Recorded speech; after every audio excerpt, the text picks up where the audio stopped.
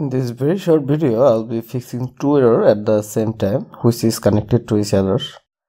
One is regarding the Windows Store and another is optional feature not installing. Previously, I tried to install a optional program and I clicked on install and it started installing but it freezes there and similar things happens with Windows Store also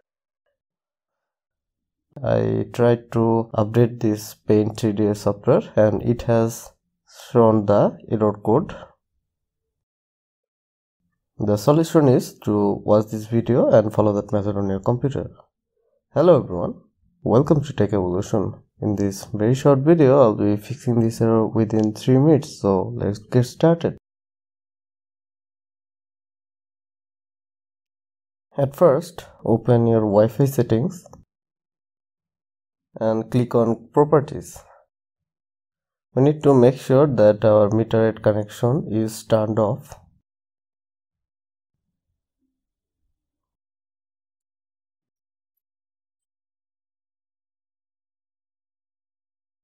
First open the settings. It will open the control panel and you need to click on network and internet. Click on adapter options you need to click on the Wi-Fi network you are logged in and click on properties.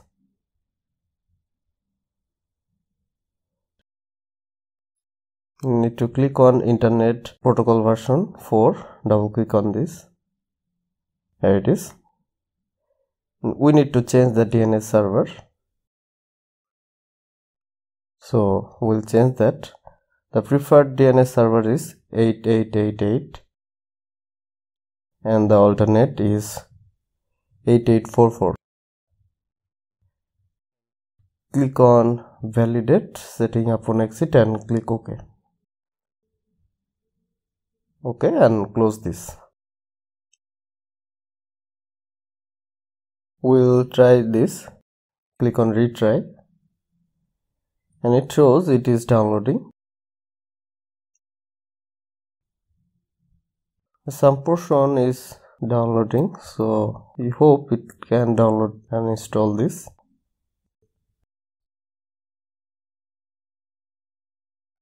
It looks like it can install.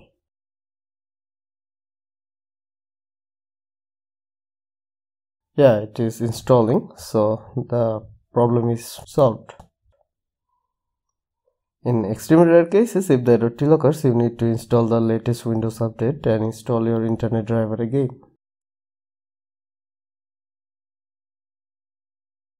And that's all. If you follow me step by steps, you no longer have the problems left. Please let me know how you feel about this video. And do not forget to like and subscribe.